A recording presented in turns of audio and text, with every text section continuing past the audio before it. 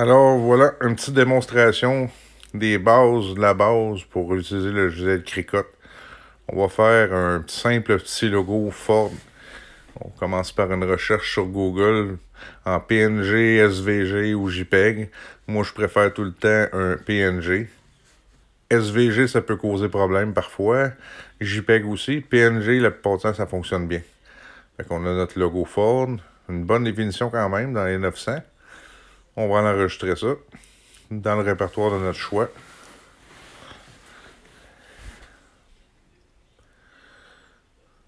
Bon, j'ai pas de répertoire Ford. on va l'enregistrer simplement dans le répertoire principal. Un petit Ford 1. Et voilà, on a l'image Ford. Maintenant, l'autre étape. Sur le petit piton téléchargé du logiciel Cricut télécharger image.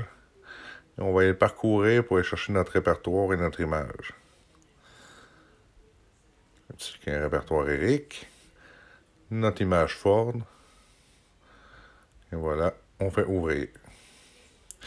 On va cliquer sur simple. C'est ce que je fais la plupart du temps parce que si on va jusqu'à complexe, parfois ça capte tout le moindre pixel, ça va venir faire des détails indésirés. Ça, c'est pour rendre transparent, c'est l'étape, une des étapes les plus importantes. Il faut rendre transparent toutes les zones qu'on veut avoir. Parce que sinon, à la place d'avoir un Ford comme ça, vous allez vous ramasser avec un ovale tout noir. C'est pas ça qu'on veut. Voilà, on a notre petite image Ford qu'on vient sélectionner et ajouter à la toile. Et voilà, magie, magie.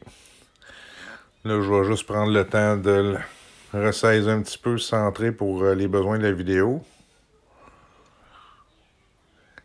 Et après ça, on va voir pour les petits trucs simples. C'est vraiment la base. Je sais que ceux qui en ont une, qui ont le logiciel, vous savez tout ça, mais un changement de couleur.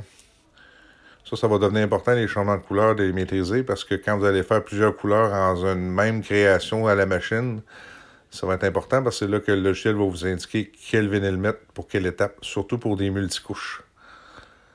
Multicouches, plusieurs couleurs. Là, c'est une simple petite démonstration pour montrer la fonction coupée.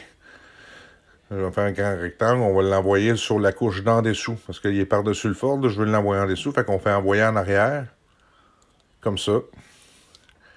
Là, ce que je veux faire, je vais sélectionner mes deux images ensemble, puis je vais faire séparer. Ce que ça vient faire, dans le fond, ça va venir découper tout ce qui est de Ford dans le rectangle. Voilà, on a un Ford noir-gris, on a notre Ford bleu qu'on vient récupérer, et on a l'image la découpe, la feuille que j'ai faite qui a été découpée. Là, ce qu'on peut faire avec ça, c'est pour faire une démonstration avec la fonction contour.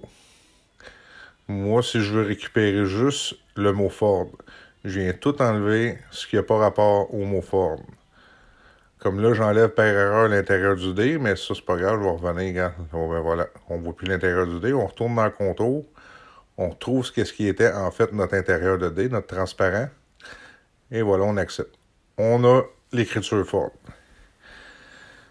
On pourrait faire la même chose avec l'ovale, la fonction contour, pour aller effacer le contour à l'extérieur ou quoi que ce soit. La fonction contour, pour ça, est très intéressante. Ici, on change la couleur? Puis on va venir faire un décalage qu'on appelle ça. C'est intéressant, ça. Je m'en sers très souvent. On faire un petit décalage de 0.15 cm. Ça va venir faire un Ford plus gros par en arrière pour faire deux couches de deux couleurs. Et voilà. on peut séparer les deux. En les séparant, vous pourrez revenir en arrière pour annuler l'opération, mais il y a aussi sélectionner les deux images, puis aller dans Aligner, Centrer. Il y a centré en haut en bas comme celui-là. Il y a horizontal, vertical. Il y a une couple de fonctions intéressantes dans la lignée. Là, on éteint nos autres images avec le petit œil. On venir changer la couleur du fond, du décalage qu'on a fait.